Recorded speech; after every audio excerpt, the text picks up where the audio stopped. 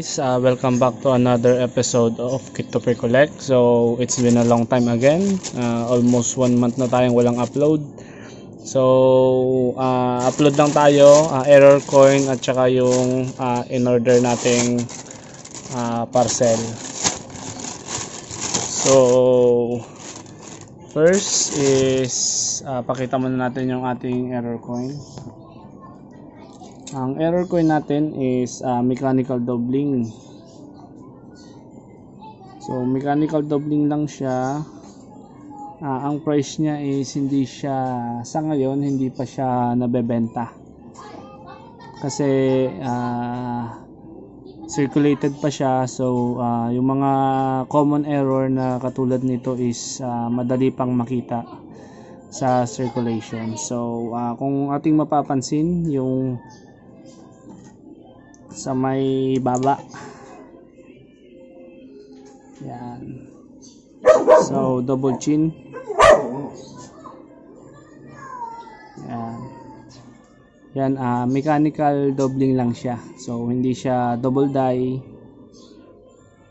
So mas matas yung value niya kung uh, double die siya. Pero sa ngayon nga wala pa masyadong uh, value to. Siguro sabihin mo ng 20 pesos, pwedeng mabenta ng 20 pesos kung may bibili. So, yun guys, ah uh,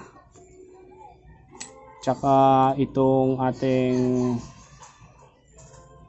frost die na 2000 2003. Yan, frost die.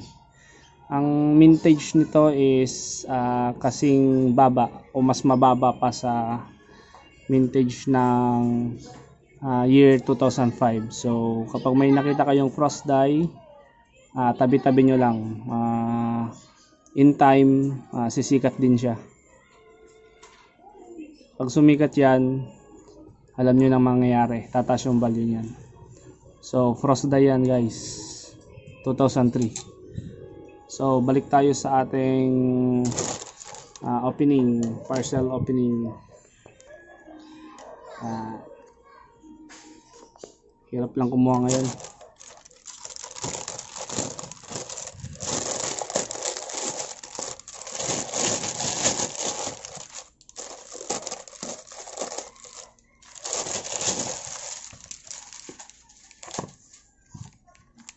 Yeah.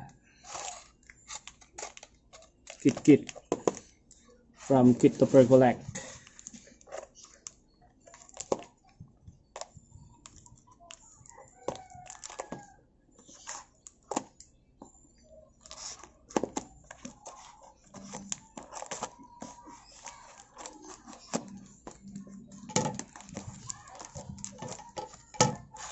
Tandaanin natin baka masira eh. Kasi minsan uh,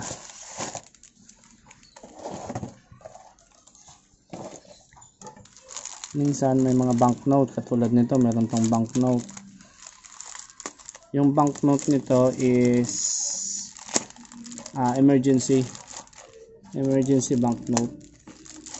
Mindanao yata tsaka Negros So, kunti lang siya pero ipapa-frame ko din yung banknote na yun.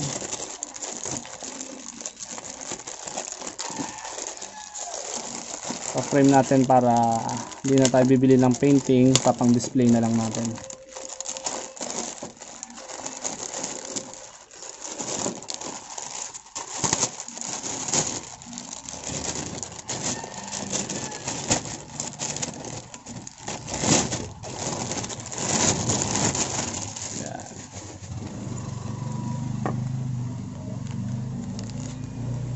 Dami tayong nabili.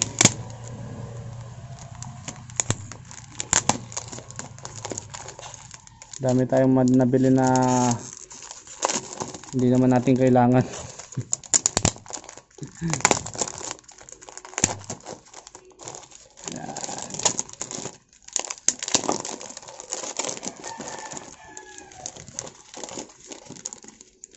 Yan guys ah, abang-abang lang kayo guys at medyo matagal magbukas. So ito yung ating uh, banknote na emergency banknote. 20 pesos ah saan to Mindanao. Mindanao. Serial number is A. And then itong Mindanao na isa is walang walang letter. Ah AA pala kumbaga set siya. A and AA ah, circulated type. Then itong dalawa is 2 pesos ng Mindanao pa din. Wala pa lang nag-gross. D. Ah, walang D, D and DD so yan guys. Papa-frame natin yan kahit hindi siya kompleto maganda yan eh. Para mga history yan ng ating Pilipinas eh. History ng ating bansa. Na ginamit noong guerrilla. Guerrilla banknote tapos meron tayong Emilio Aguinaldo. 1 peso. Ano to? oh mahal. 1750 pala to yan. Then Isabel uh, Formarabides 1847 1847 then uh, half peso sa Rizal. Tsaka 50 cents na MacArthur. Ganda pa ng half peso. So dalawa na yung uh, half peso ko tsaka MacArthur. So dos na sila. Dos na. Mga boss dos na sila. And then this one uh, USPI 1903 1903 10 cents 1904 so check natin ang year para makita natin ang years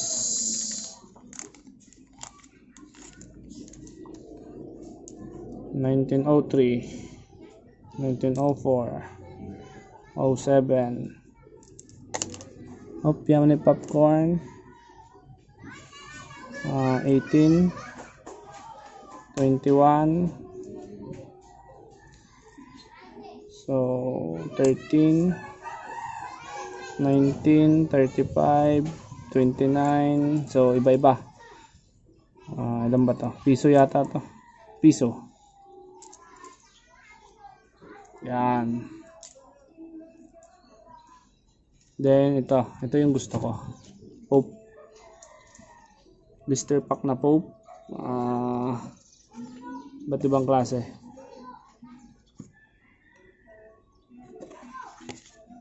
and then si Tandang Sora.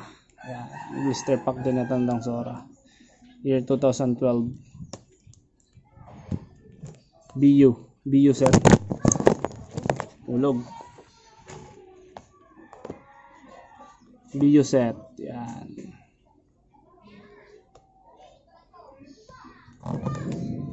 And then last but not the least, itong 500 na Pope.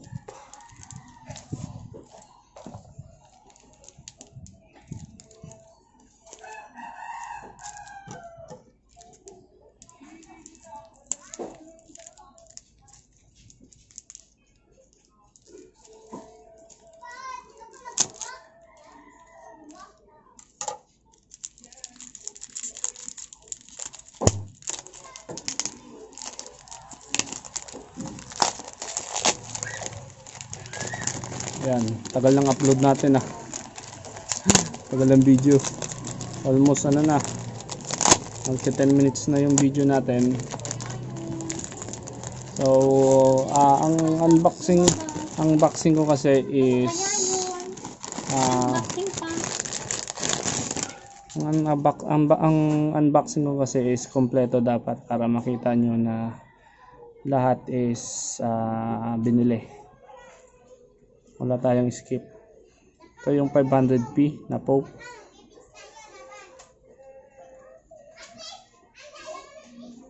yan with ano pa siya, Kowa. Box and Kowa.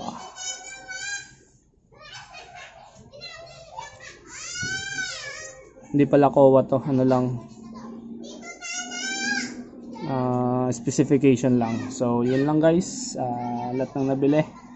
Ah, salamat at pasensya na medyo natatagalan ng ating mga upload pati ang ating mga coin error hindi tayo nakapag-upload so yun lang guys Ah, thank you for watching